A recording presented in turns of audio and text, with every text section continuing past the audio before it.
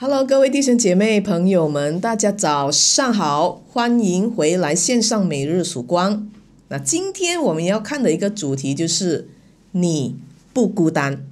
我们来看马太福音的第二十八章十八到十九节，二十节，他说：“耶稣上前来对他们说，天上地上一切权柄都赐给我们了。”所以你们要去使万民做我的门徒，奉父子圣灵的名给他们施洗。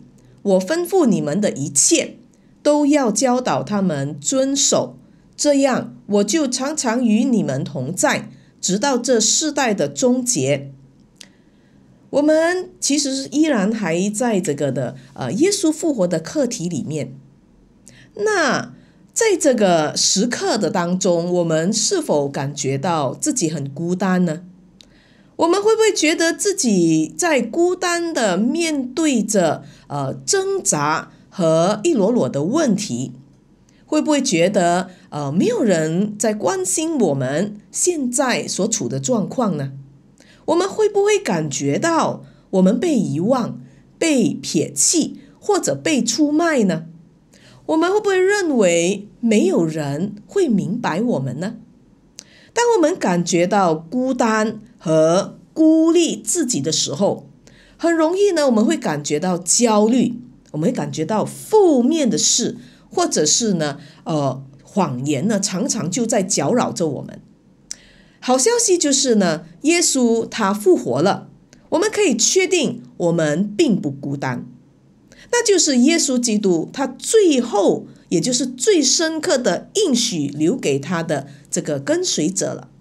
虽然门徒不再见到耶稣，但耶稣应许他们说：“我必定会与你们常常同在的。”当他们被许多的事压倒的时候，就是人要来拒绝他们的时候，耶稣说：“他会常常与他们同在。”耶稣会常常与我们同在。当我们面对到家里一面混乱，可能父母在闹离异的时候，耶稣与我们同在。当我们的家里的成员其中一个成员被诊断患上癌症末期的时候，耶稣他依然与我们同在。当我们的朋友出卖了我们的时候，耶稣他也。依然与我们同在的。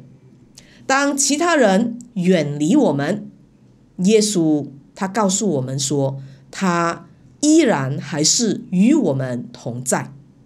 在我的结论，耶稣他的复活提醒我们，我们并不孤单。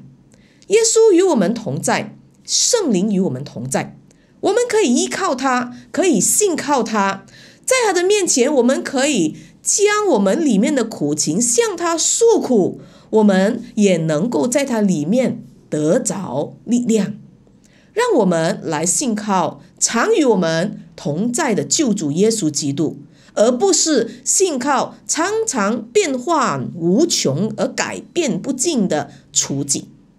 那应许常与我们同在的主，我们同在的主是否？改变了我们对人生所遭遇的和所面对的问题的看法呢？愿神赐福我们。